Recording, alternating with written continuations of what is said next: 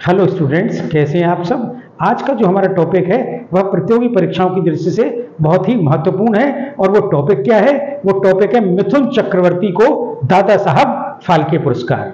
मैं हूँ विवेक सक्सेना और आप देख रहे हैं साहित्य भवन का यूट्यूब चैनल यदि आप किसी प्रतियोगी परीक्षा की तैयारी कर रहे हैं और मेरे यूट्यूब चैनल पर नए हैं तो इस चैनल को अवश्य ही सब्सक्राइब कर लें। अब आते हैं अपने टॉपिक पर, मिथुन चक्रवर्ती को दादा साहब फाल्के पुरस्कार।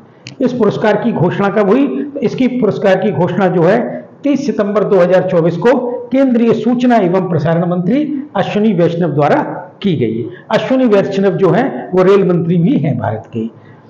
इसके पुरस्कार के प्राप्तकर्ता कौन रहे? जैसा कि मैंने बताया, प्रसिद्ध फ़िल्म अभिनेता मिथुन चक्रवर्ती। मिथुन चक्रवर्ती कौन सी हस्ती हैं जिन्हें यह पुरस्कार दिया जाएगा? तो वह चौवन भी हस्ती हैं।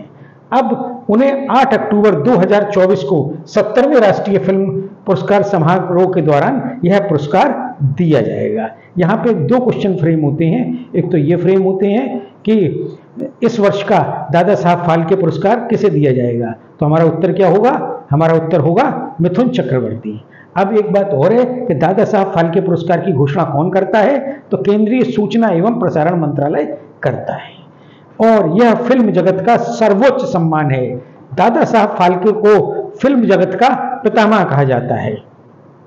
यह पुरस्कार किस वर्ष प्रारंभ किया गया था? तो यह पुरस्कार वर्ष उन्नीस सौ उनहत्तर में प्रारंभ किया गया था।